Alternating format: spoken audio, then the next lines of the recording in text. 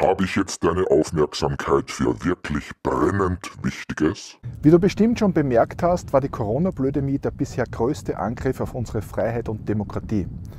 Aber das war nur Kinderfasching im Verhältnis zu dem, was schon wieder geplant und vorbereitet ist. Dabei ist der WHO-Plandemie-Vertrag nur eines von vielen Puzzleteilchen.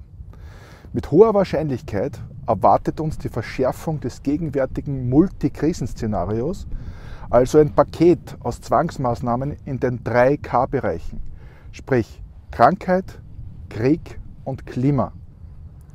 Wie sich das entwickeln könnte und wie du dich davor schützen kannst, erfährst du in diesem Video sowie in den Büchern Corona-Diktatur und Freiheit. Schau rein!